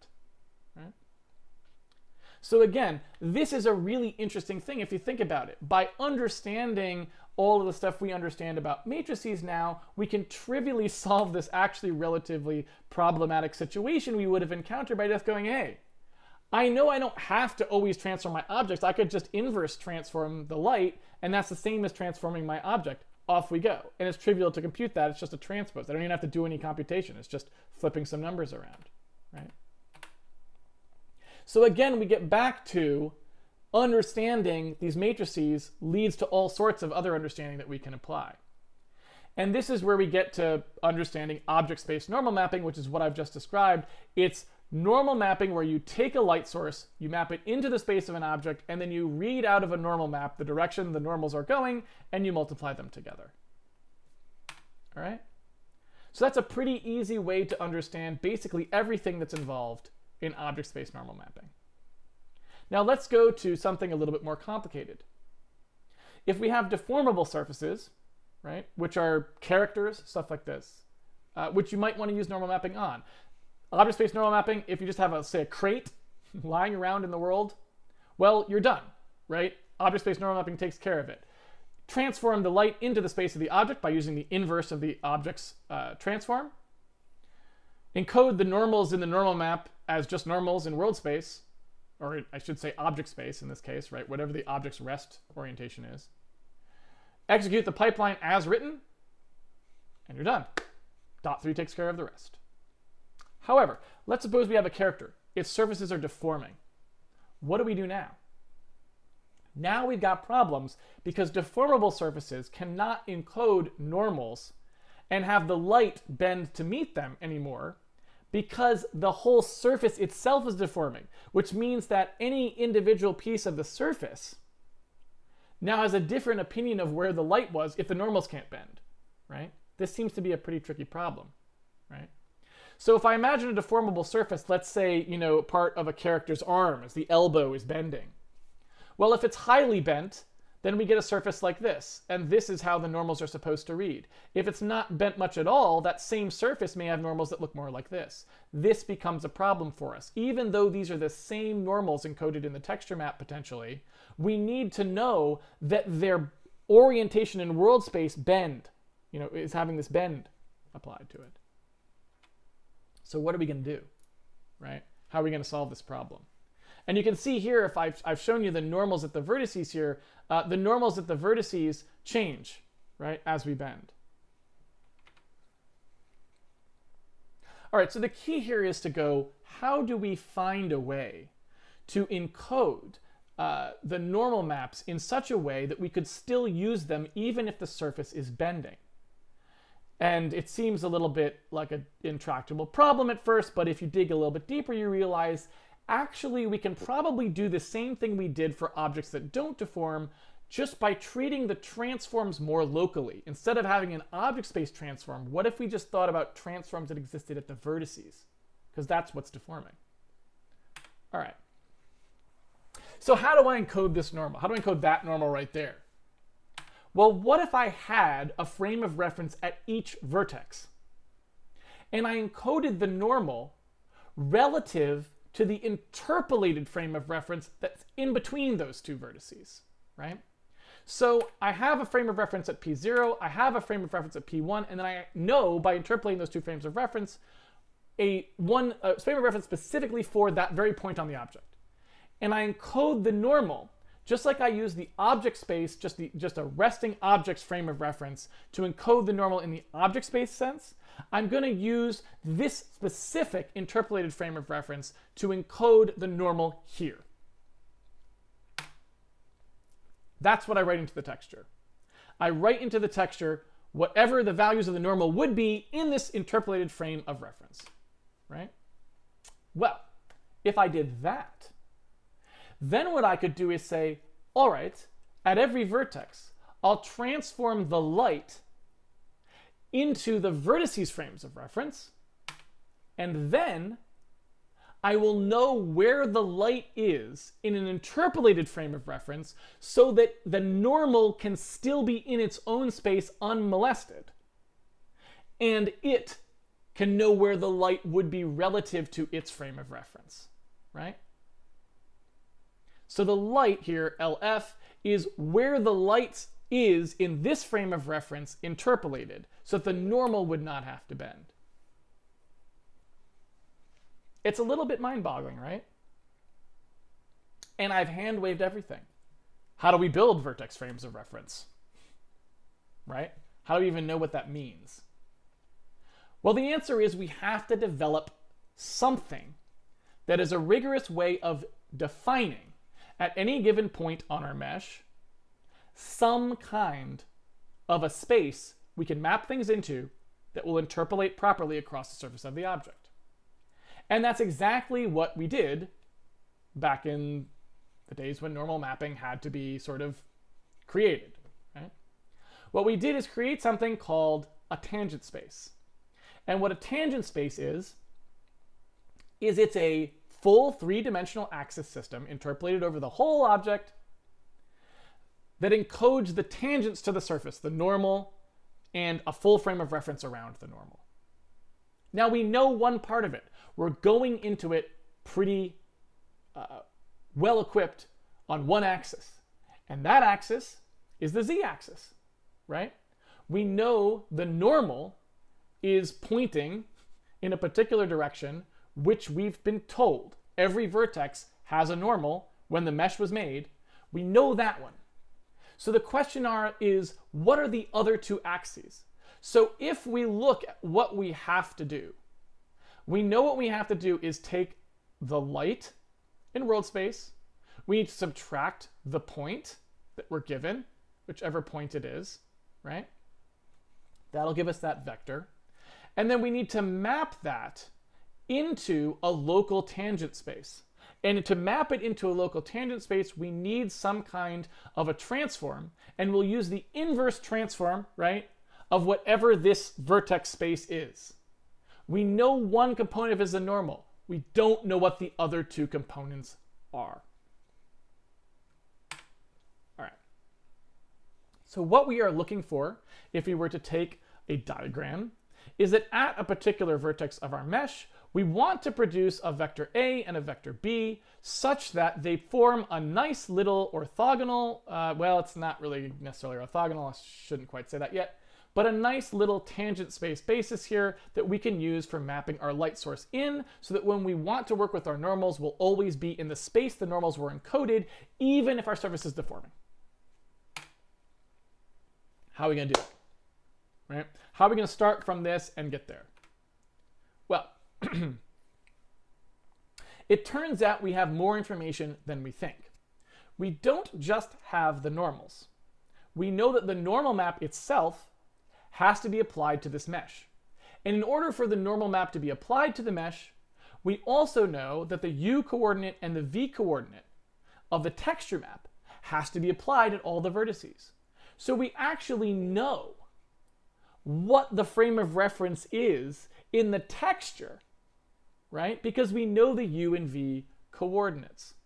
So we have another piece of information we can use to form a basis that aligns with the way that the surface has been mapped by the artist, textured over it, right?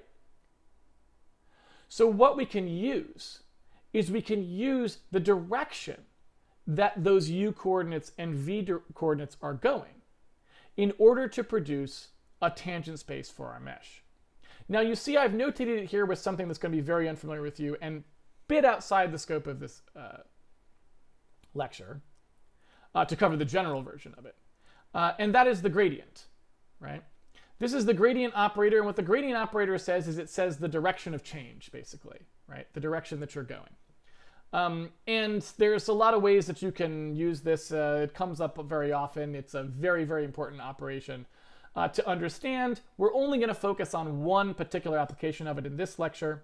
And again, it would make for great additional reading if you want to go find out more about it. But for right now, we're only going to talk about one aspect of it. And the aspect of it that we're going to talk about is very specifically figuring out what direction u and v go so that we can align our coordinate frame with how the texture moves across the surface, which will produce us a nice, solid basis for interpolating our normal. Okay. So, even without knowing what this operator is, and let's just pretend we don't even know there is such an operator. Let's pretend we don't even know enough math to know that a gradient is a thing. We have no idea. We don't know what that is, and we don't care. We just know what we want it to mean.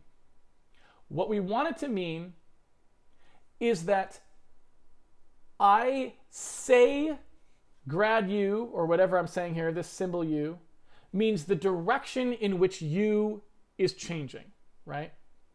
Or grad v is the direction in which v is changing, right? Uh, more specifically, let's say I imagined I'm standing on the surface of my mesh and I'm going to increase just the v value. I'm not going to touch u at all. What direction do I walk along that to keep u constant, but v changing. Or vice versa, I'm going to change u, right? Where do I move across the surface to change u and only u, and v stays the same? So you don't need to know what a gradient is, and you don't need to care, actually, right? In order to look at this particular circumstance here, um, all you need to know is that I'm going to define that operator that way. Let's not even use the term gradient. We'll just say we're going to use this operation here to mean I want the place where only this thing changes and the other thing doesn't change. Okay? So if I take a look at this equation, what I have written out is a statement of exactly what I just said for you. I am going to say that a, some scalar, times the first uv right? Whatever it is in the in I'm I'm imagining zero one zero uh, I should define these terms a little more carefully here. So, because I drew the diagram and haven't said much about it. I have P0, right? And then I have P1 out here and P2 out here, right? I have this. If I take the vector from P to P2 or from P to P1, if I take those vectors, so I would subtract P2 from P1 for this vector, I subtract P1 from P for this vector, I would get a change in UV if I subtracted the U coordinates. I would get a change in XYZ if I subtracted the X coordinates, right? So if I subtract the UV value at P2 from the UV value at P1, I get the change in U as I go from, from uh, P0 to P1. The same is true of 2.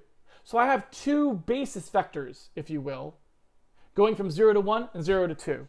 And I can look at the change in UV coordinate and I can make a vector. So this is in UV space, right? It's on the texture map. You can think of it that way. So if I write this equation, some scalar times u, uh, the, the uv change from 0 to 1, plus some scalar times the change in, uh, uh, in u from 0 to 2, change in uv from 0 to 2, that left-hand side represents an arbitrary combination of these two vectors, right? So I can take an arbitrary combination, any scalar I want, any scalar I want, of these two deltas, if you will,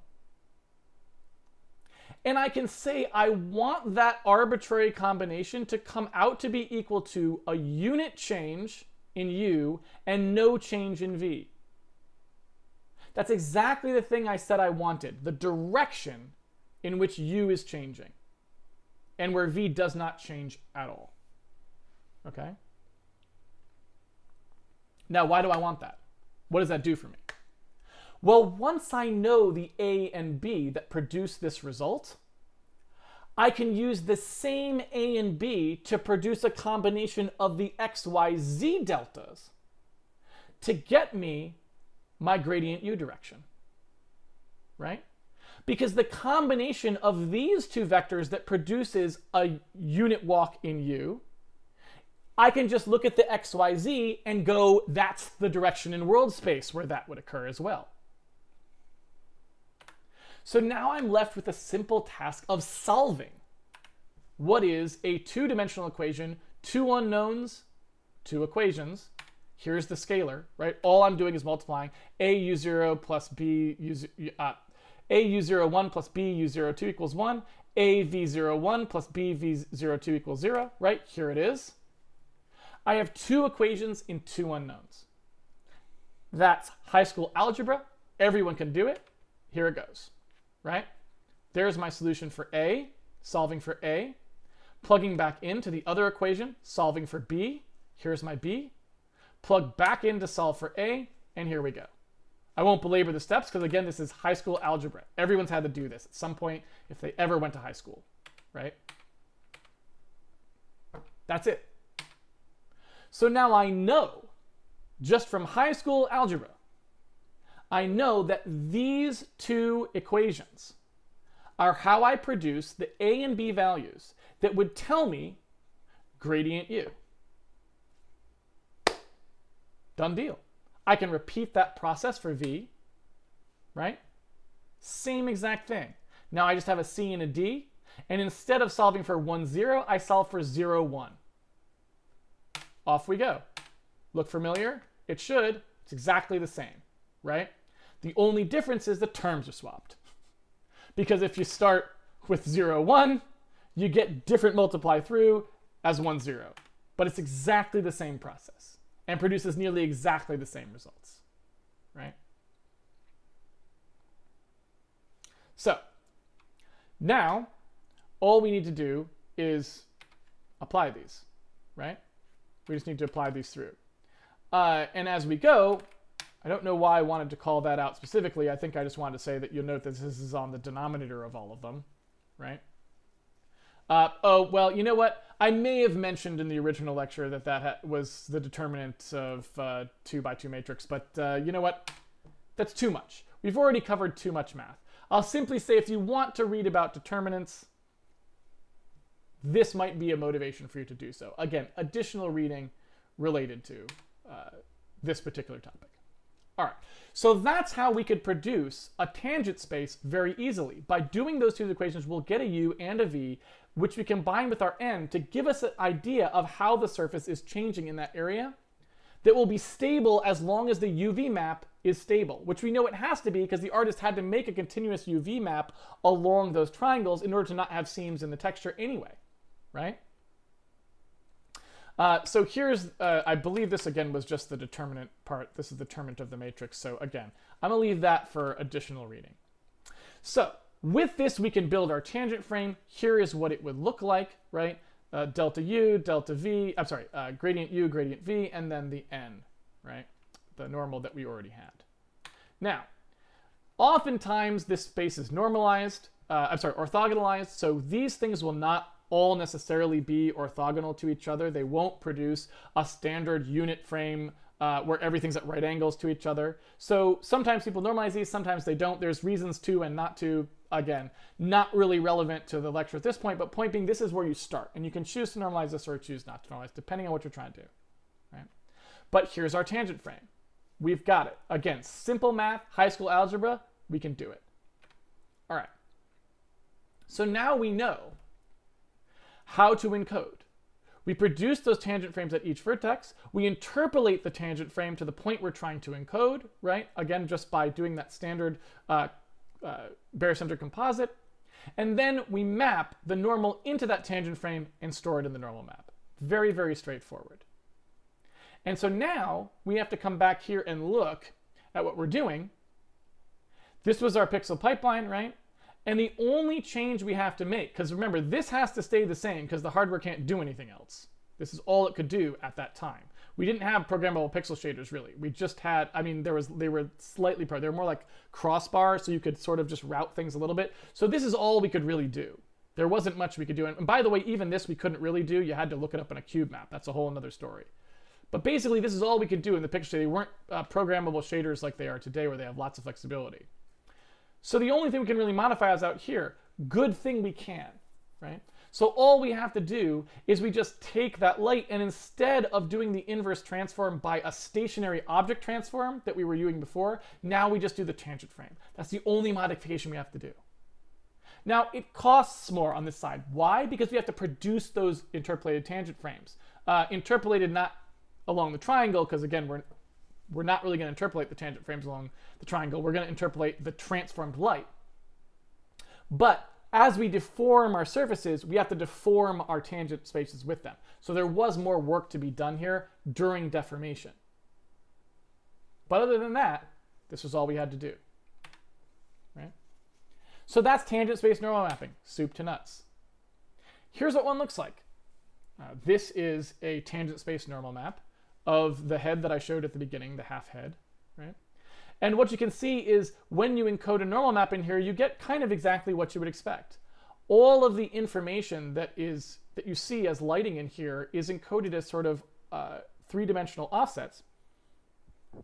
And the, uh, the convention when encoding a normal map is that you encode a normal map as XYZ RGB, right? The x goes into the uh, the x coordinate, the x goes into the r, the y goes into the g, uh, the z goes into the b. Now, as we got further along and shaders got more able to do more work, uh, it became unnecessary to store all three because you could actually just store two and generate the third. Because since it's a normal, once you get two values, you can generate the third, right? It's pretty cheap to do that. Uh, but you know, originally we didn't have the option, so you actually had to store all three. And so if you take a look at what this looks like, you can see it's overwhelmingly blue because most of the time the surface doesn't deviate much from just the normal, normal direction. It's a slight deviation. You can see red where it starts to point um, in, in some direction x-wise, right? You can see green uh, in one where it starts to deviate y-wise, right? So you can sort of read these. You can see it's a very logical thing uh, as it was placed on the surface, okay? So that's how normal maps, how uh, it was determined at the time. But again, nobody knew how to do any of this stuff. people had to work out every last little detail, right? Everything from how you figure out what tangent spaces are to even that you wanted to do that, uh, to how you did the dot three, how, I mean, the hardware people had to figure out the dot three was even useful, right? And put it in the hardware, and you had to figure out how you were going to use it and all these sorts of things, right? All of this was unknown. And now today it's all known, okay? Um, so what I want to really emphasize here, if you take a look at all that stuff, uh, you can see how every little single black box, every little piece that you choose to look into, repeats itself and affects everything, right? A very simple uh, sort of uh, analysis of very simple matrix math at the beginning, it repeated again and again and again and again and again inside that normal mapping stuff. And even if you didn't understand anything that I just said, hopefully you could see that repetition and those echoes all throughout there, right? Because pushing forward on one thing and learning how that thing works, there is almost never a time in game engine development where everything that you learn and all of those aspects that come uh, together to teach you how something worked don't come back again and again and again. And if you've done enough of these, you will have a toolbox capable of pushing beyond where we even are today, right? And that's exactly what happened back in those days. There was no normal mapping. People who understood how these things worked and pushed forward and did experiments and applied the knowledge they'd learned by digging into things people had already figured out created a whole new technology which today we take for granted. That is not the last time that will happen. It will happen many, many, many more times before game development is really understood.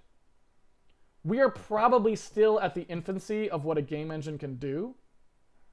And the game engines that you can license today or use are a far cry from taking advantage of all of what the knowledge of math and the world and physics and everything have to offer us. But we just don't know what it is because we haven't pushed out there yet. Not to mention a bunch of the new fields, deep reinforcement learning, these sorts of things coming to fruition now in terms of AI or other stuff. What did those have in them? Go take a look. Tons of matrices, dot products, thresholding, gradients, all of these things, they come up everywhere. So what I really want you to take away from this lecture is not any of the specifics. I don't care if you know anything about matrices or normal mapping after having heard that.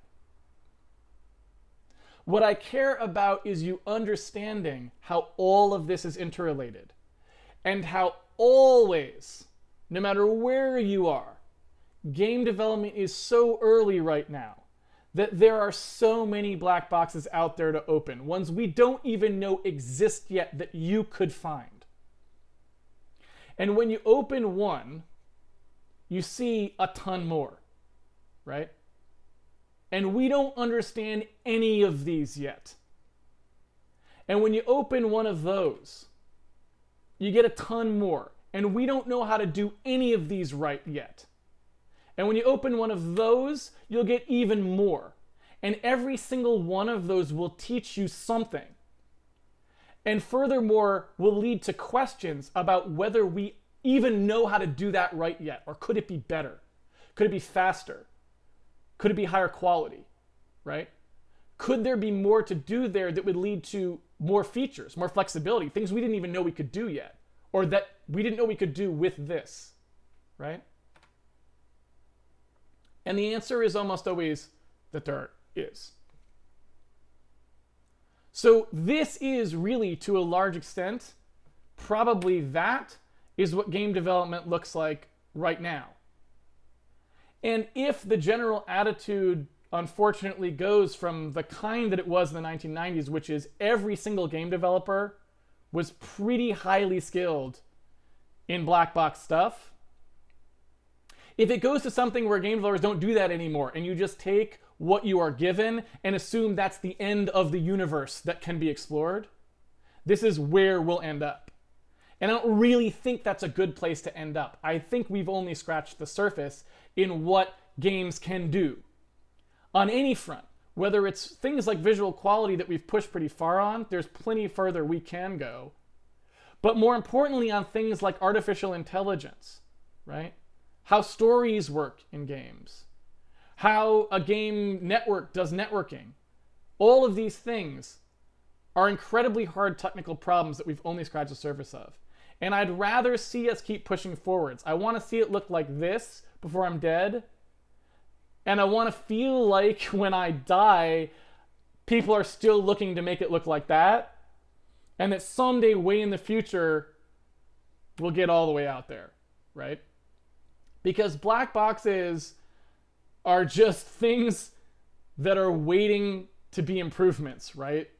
And so anytime we look at something and say, I just use this and I don't know how it works, it's kind of like accepting a limitation that we shouldn't accept uh, and accepting a small defeat instead of pushing for a victory.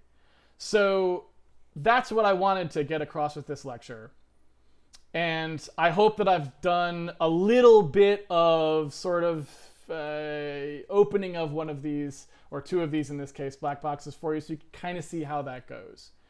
It only gets better from there. Those are simple black boxes, and pushing through a really hard black box is probably one of the greatest uh, feelings you can have in development where you open something up and you really figure out how it works and you push the tech forwards. Uh, there's really nothing else like it. So if you're the kind of person who thinks that sort of thing would be uh, exciting or interesting, and you like knowing how things work, you don't like accepting just use something someone else made, or just this is how it goes, you don't need to look into it. If you don't like accepting those answers, you're the kind of person who this sort of programming is for. And I highly recommend you look into it. There'll always be a job for you if you're good at this sort of thing because so few people have the fortitude to do it and spend the time to get good at it. Uh, so that's my lecture, How to Open a Black Box. I hope you enjoyed it. Uh, and if you're interested in this sort of thing, uh, please look into being a serious game engine programmer. Uh, it's a great place to encounter a lot of really challenging problems. And uh, with that, I will uh, take some questions.